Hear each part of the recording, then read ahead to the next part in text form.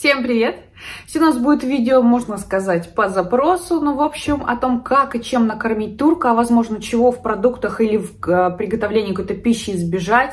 Если турок едет к вам на первое свидание, или вас, в принципе, ожидаются гости из Турции, может быть, какие-то родственники, или, в принципе, вы каким-то образом в своей стране, не в Турции, сталкиваетесь а, с турками, и вы приглашаете их себе, например, в гости, и вам, или вам нужно каким-то образом организовать их досуг и понять вообще, куда они могут ходить, какие-то да, рестораны питания их именно, а что вообще для них неприемлемо. Сегодня поговорим об этом. Все знают, что большинство турков, как мусульман, даже если они прям не супер религиозные, но они с детства, как правило, не едят свинину и любые продукты, то есть это бекон, а, сало и все содержащие продукты, в которых может попасться частичка э, свиного, вот этой свиной мяса, сала составляющей.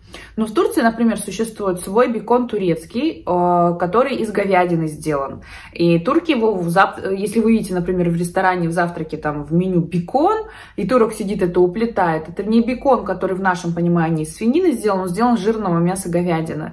По вкусу, ну, практически одно и то же, более постное, мне даже нравится больше, чем а, именно бекон свиной.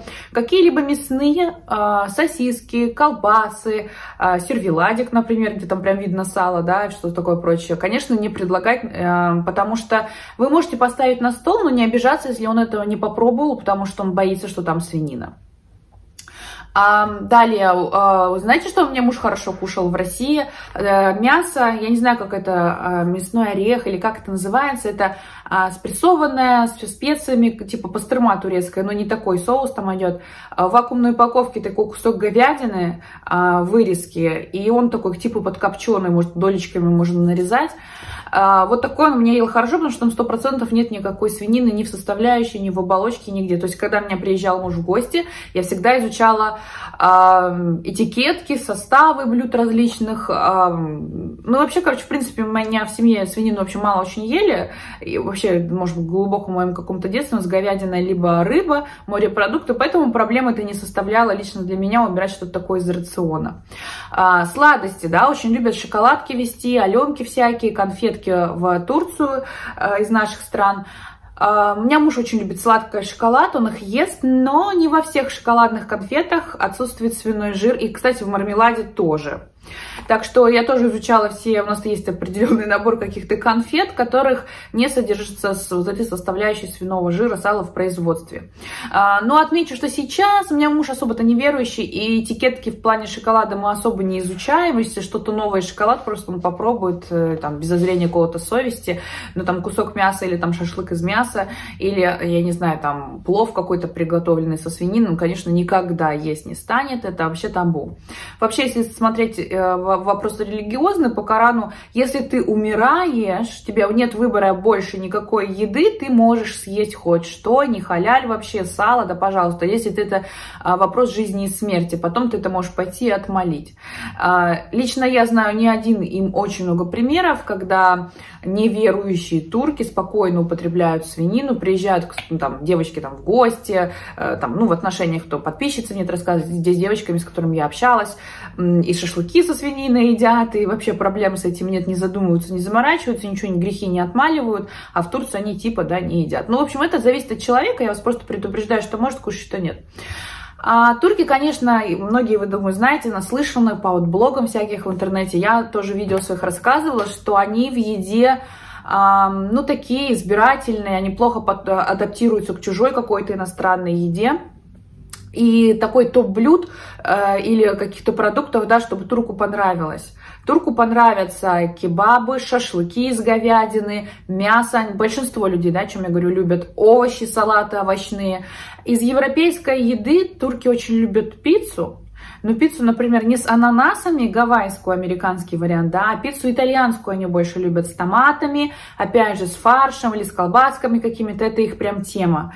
Они еще, знаете, так то есть тур пиццу адаптировали под себя, тут и кукуруза, вообще, перцы всякое, всякое-всякое, овощи накидывают на пиццу. В общем, и даже, кстати, турки, хотя некоторые не едят соленую рыбу, они считают, что она сырая, но у меня муж это ест, он ест, например, пиццу, может, э, с морепродуктами, с руколой, вообще без проблем проблема, ну такое у меня есть, но это далеко не все турки, но некоторые тоже могут. А, и из такой э, паста это болоньезе макароны, а, это потому что, опять же, там идет фарш и томатная паста, либо соус для наполитана, что-то такое. Я просто такой дома с такого готовлю с наполитаном, потому что сразу овощи есть. Ну, специи я имею в виду, все за сборная соляночка по отдельности не добавлять. Вот такое они очень любят. Они любят помидоры, мясо, овощи, а, булгур, крупы, а, макароны, специи какие-либо. Но специи, кстати, у них тоже не гурманские. Вот честно, вот в быту, в специях турки очень легко все сходится на мята, там, я не знаю, сусам, э, перец красный, перец молотый, э, острый, не острый. Но паприки, кстати, копченой, э, паприки сладкой копченой, ее здесь в Турции нет, я из России привозила, очень люблю ее в ней, из мяса с ней готовить. Именно копченым вкусом паприка типа есть, сладкий перец они называют, но копченая здесь такого нету. В общем, сарам, э, сарамсак чеснок любят сухой, либо просто э, э, из, выдавливают из головки, да, чеснока свежий. Ничего особенного у них такого в специях я прям не сказала, что они очень любят еще петрушку, лук зеленый, который перьями в салатах. А, очень у них простая еда. Мясо, овощи, крупы, любые практически, но гречку не все едят, не все, но не, она здесь продается, некоторые кушают. На, на ПП спортсмены в основном, просто в обычном быту здесь людей, которые бы кушали прям много гречку, индюшку, курицу, вот они, это вся их еда. Это основа какая-то томатная, и э, овощная, какой-то гарнир может быть, картошку, пюре, пожалуйста, толченую тоже едят. В общем, ничего здесь сложного особо-то нет. Проще сказать, что они есть не будут. Они не будут кушать вот свинину, любые блюда, составляющие, как для свинины. Они не очень любят сочетание азиатской кухни из разряда кисло-сладкий соус, да, или мясо со сладким соусом, что я люблю мясо в ресторанах, например, да, биштекс с каким-то брусничным э, соусом или там еще каким-то сладким вареньем, проще называть, да, это в основном еда таких нордических людей, это Швеция и так далее, э, Финляндия, фин такое любят, но а они здесь такое не едят. Восток, они любят мясо, помидоры, овощи. Азиатская еда вообще не про них. Суши они некоторые едят, но не все. Муж мой начал суши кушать только со мной. Но только те суши, где типа нет... А, понимаете, они а, живут в определенных стереотипах про еду. И вот как пример расскажу, да, например, а, там, не знаю, сашими, да, когда рисы просто э, соленая, даже не свежая, рыба сверху э, красная лежит, самон по-турецки. Не знаю, просто некоторые слова по-русски мне тяжело быстро вспомнить, да, и чтобы не экать, не зависать, я сразу, например, говорю что-то по-турецки, да, ну, с красной рыбой. И вот он так будет лежать, он не съест. А ту же красную соленую обычную рыбу, фюме самон, который у нас э, продается вот в Мигросе, везде в продуктовых магазинах, если ты засунешь внутрь суши, он ее не увидит, он ее съест с удовольствием, скажет, как вкусно. Или сочетание рыба с молоком, да, или с айраном, а что такое турок не будет никогда, конечно, кушать.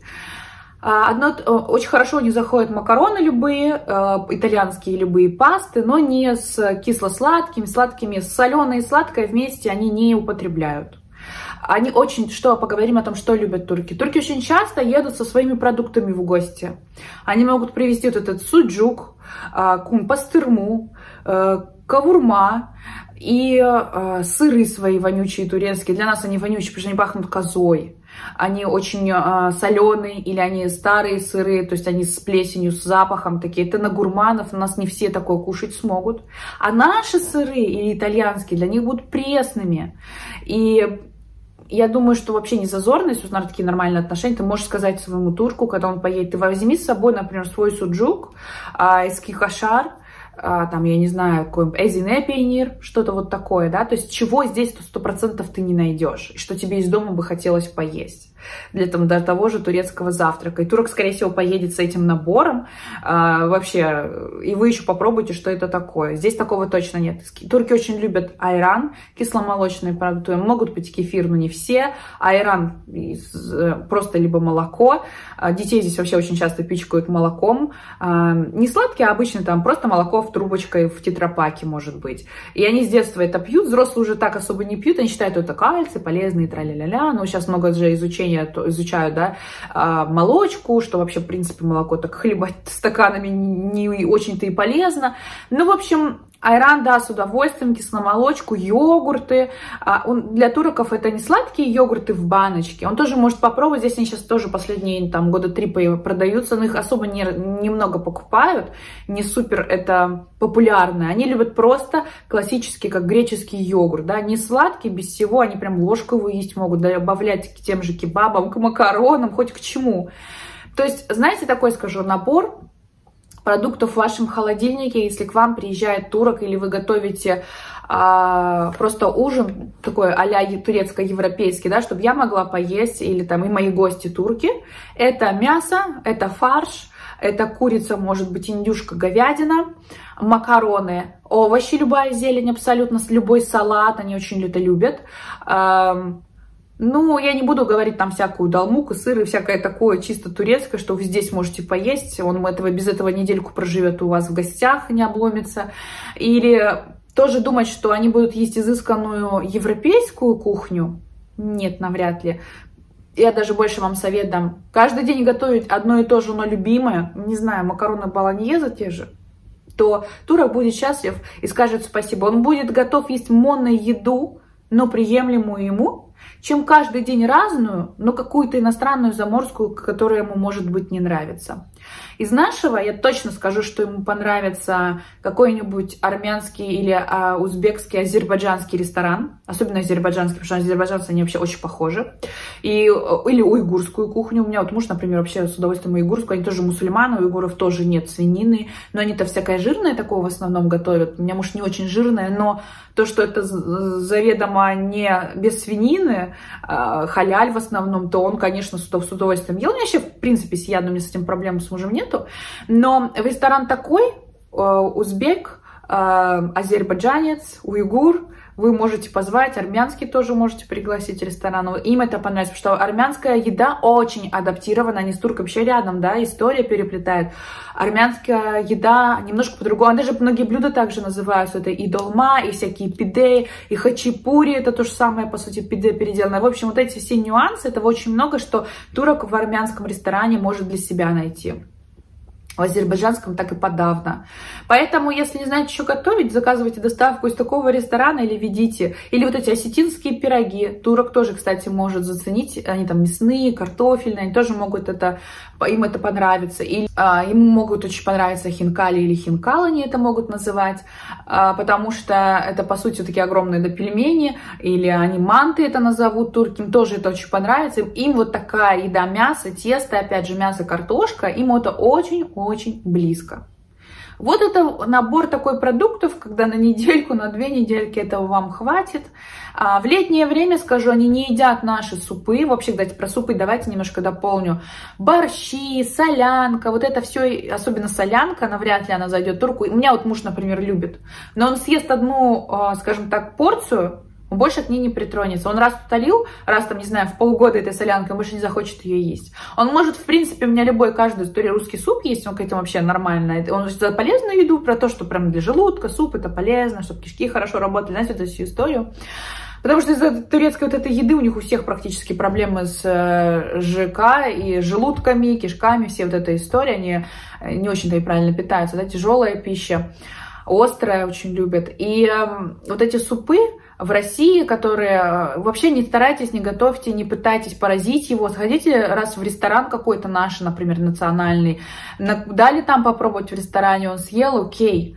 Дома ни, котлы не ворочайте, не тратьте время это готовить, он съест одну порцию. Из вежливости, может, даже, может, ему не понравится. Зачем напрягаться? Про супы. Э, суп, жидкая такая пища, у турок это типично в холодное зимнее время суток, года они едят. Суток это вечером, на ужин, э, согреться и тому подобное. То есть летом суп можно не предлагать. Вы можете предложить какой-нибудь холодный суп, и то он навряд ли будет есть. Он скажет, ой, это жидкое, это суп, окрошка, например, да, окрошку тоже не станет есть, скорее всего нет, даже не пытайтесь. Не надо напрягаться, короче, надо, я вот, что главный мой совет к концу видео, не надо напрягаться, определенные блюда, которые для них приемлемы. Вот я как и сказала, лучше каждый день приемлемое одно и то же, чем что-то новое и неприемлемое для них. Они вот такие зашли в колею, по ней катят, едут и из этой колеи выходить не хотят. Пишите ваши комментарии под видео, что вы считаете для них интересно, может какие-то истории интересные есть, когда турок что-то новое попробовал для себя, непонятное, неизвестное, открыл и стал это постоянно кушать. У меня тоже есть такие дома примеры, у меня муж очень много со мной вот как типа суши открыл для себя. Он их знал, ел, он э, много работал в Азии, летал, но никогда их особо не ел, не пробовал. И, кстати, азиатскую кухню так до сих пор и не примет. Он может поесть раз, но на второй день никогда к такой еде или в такой ресторан не пойдет, не притронется, у него вообще интерес, только чисто из интереса что-то новенькое и все. А, вот, пишите так что комментарии про свои истории, очень интересно. И следующее, хочу сказать, если вы считаете, что видео полезное, пожалуйста, поставьте лайк, распространите в соцсетях, репостните это видео, чтобы другие видели, чтобы обратились к этой информации. Я очень, мне очень приятно, что я могу быть полезная. Я под видео оставляю всегда свою э, в инфобоксе, разворачивайте почту, куда вы можете написать свои анонимные истории для публикации разбора ответа моего видео, либо запись на психологические консультации. Скоро увидимся, всем пока!